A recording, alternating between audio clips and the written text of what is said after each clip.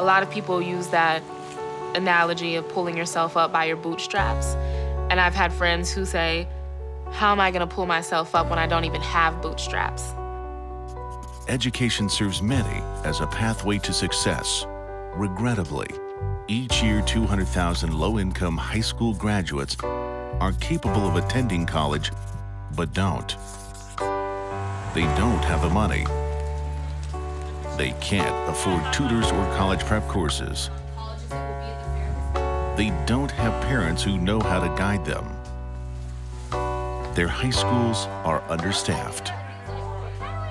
They're intimidated by the process. But now they can succeed. Welcome to College Possible.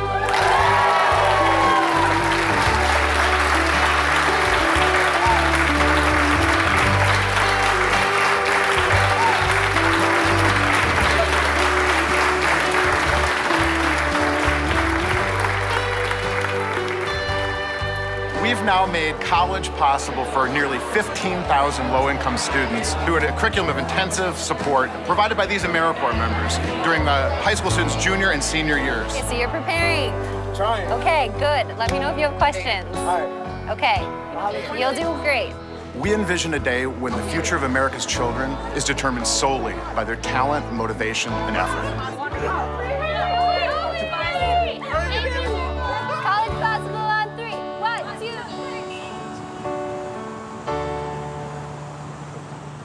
I was surrounded by people who were below poverty. Some of my friends lived in their car with their parents. We lived in an attic once, a lot of different like projects.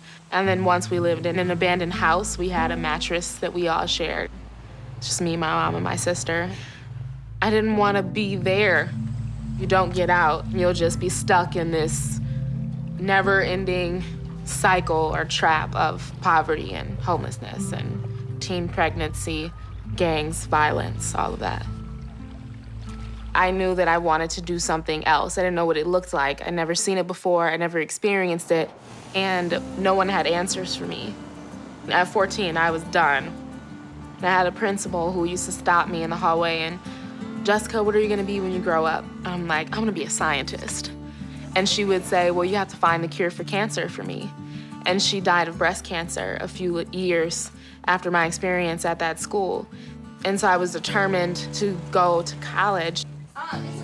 You had to take one of those tests called the ACT or the SAT. So I joined this program. College Possible on three. One, two, three. College Possible! I found out about College Possible during homeroom in my sophomore year. We make a really concentrated effort and spend a lot of time in our partner schools. There's sort of an art form to finding the right kids. You know, there's some kids that you know are at risk of dropping out of high school and probably aren't even going to finish. And then there's a group of low-income kids who are high flyers, who are almost sure to go to college and earn big scholarships. And that's not really our group either. We're trying to find kids in that academic middle, the kids who, with some intensive help, could make it to a four-year college and succeed when they get there.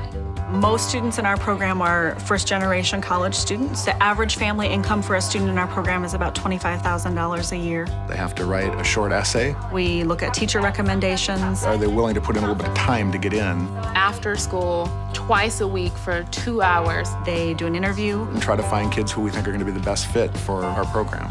You get the test preparation, you learn how to fill out college applications, look for scholarships, and they even took you on trips to visit college campuses. And I had never seen a college campus before. I was a former college possible student myself, so I understand coming from a low-income family, uh, the hardship and the obstacles that you face. My mother didn't know anything about it. Honestly, I don't think she had the thought about me going to college. I didn't think I would be able to afford college at the time before I got into College Possible.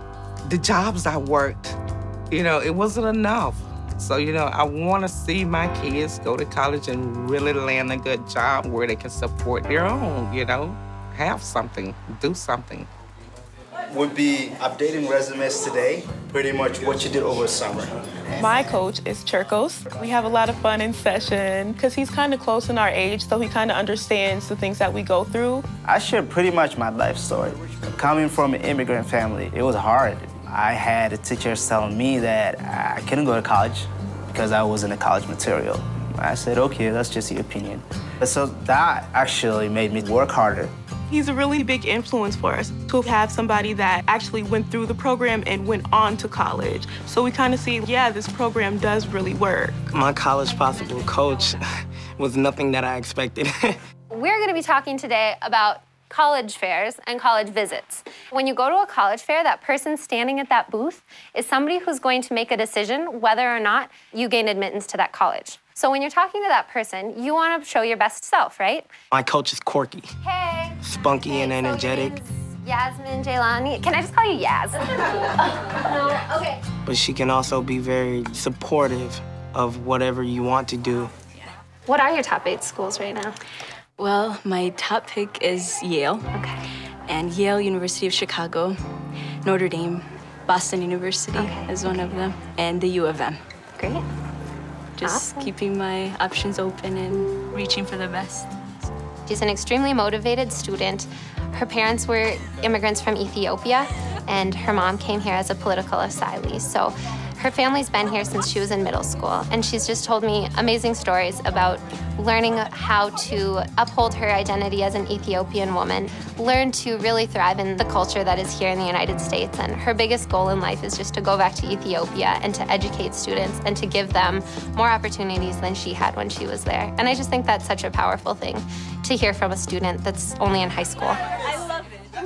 I have been convinced from the first day that I heard about it that College Possible is going to change the world. I didn't realize how rapidly it could potentially happen. We work with students from a wide variety of racial and ethnic backgrounds. Black, white, Asian, Latino. Kenya, Liberia, Ethiopia, Eritrea. From Guatemala. It's nice to be around people that aren't like you because I feel like everyone can learn from somebody else. I would say it's hardworking families, many of whom don't have an understanding of the process of becoming a college student. Our coaches are in some ways kind of doing a lot of the things that a middle class parent would do. What else were things that you thought people could do better or could improve on? Norman comes from a very difficult background. He is the son of a single mother. My family consists of seven brothers and a couple, like maybe three sisters, I think. Or his family has dealt with drug addictions and alcohol addictions for a very long time. And last spring, he told me, and I'm gonna choke up. Um, she really helped me. She gave me great advice about college, and she gave me great opportunities to go visit, go talk about colleges. So last spring, Norman told me that he's going to be the first male in his entire family to graduate from high school and to go on to college is something that never even occurred to his family. So for him, I just know that that is a dream come true. And I'm so proud of him. He's got a lot of options out there for college, and I'm just excited for him to be that first male and set that example in his family of a future that is very different from the one he came from. It's a pretty interesting. You couldn't just pick any AmeriCorps member and have them deliver the kind of results that we do. You've really got to get sort of the best and the brightest and the most energetic and really the most idealistic recent college graduates to be able to succeed at this work. If I had the ability to expand College Possible into every high school in the district, I would do so in a moment. Once they come into our building, we provide a space for them to meet with their students, a computer, a phone. I still think it's amazing. College Possible provides all the other funding. They run two different sessions two days a week. So there's a Monday, Wednesday, Tuesday, Thursday, plus an additional session after our sports teams are done practicing. So no one gets left out. I had my college possible coach to really rely on. I remember her taking us to all types of websites where we could look up different scholarships and ended up going to Carleton College, which is $50,000 a year. And I had scholarships that got me all the way through. And in the end of that, instead of having $200,000 in debt, I had like $3,000 in loans still surreal to me even today looking back on it i can't believe that i graduated in four years and I did consider not walking across the stage because everyone else had family there. But I was like, you know, why not? Because it's an accomplishment and it just shows that you did it. So I did it. Our program not only gets kids in the college, but it teaches them the fundamentals of setting goals, working hard to reach a goal, and enjoying the satisfaction and celebration that can come after that, which builds self esteem, builds character, and probably plays a role in encouraging kids to set other goals and decide that there isn't any potential achievement that they can't have if they decide that they want it and work hard to achieve it. In our partnership with College Possible, uh, over the past several years, we've seen just a huge increase in the number of students of color and first generation students coming to Augsburg. The impact that that change in our population has had in our day to day life is quite palpable and quite exciting. They bring a real energy to our life here at the college. Making it through college, a step that people think is impossible for students with backgrounds like me, is just the most amazing thing you can ever experience. I never actually imagined that I would end up in a place like this.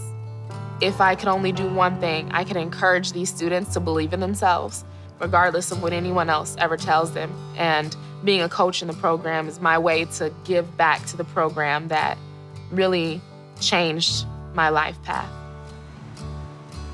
Can't understand why we were so lucky as to have College Possible come to our school. It's just been wonderful, and it's been all take on our part. It's been all give on the part of College Possible and their donors, and we are very grateful. If we work together, think about the difference we can make. Think about the impact we could have with just the organizations represented in this room. We've got Jim McCorkell here from Admission Possible, a group that helps promising young people from low income families attend college. 99% of the Admission Possible class of 2008 got into college. 99%. Where's Jim? Where's Jim? There he is back there. The vast majority stay in college and earn their degrees. Admission Possible operates in just two states now. So imagine if it was 10 or 20 or 50.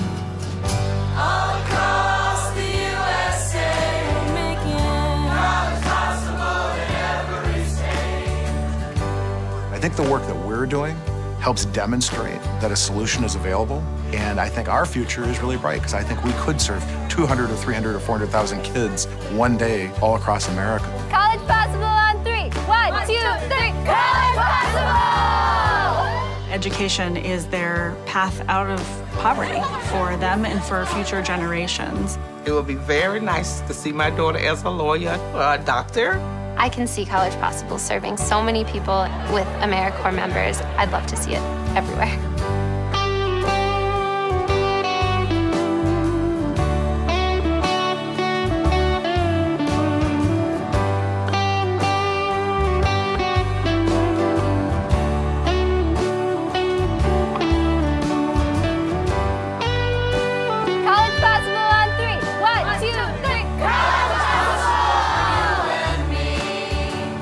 What parent wouldn't want their kid in it?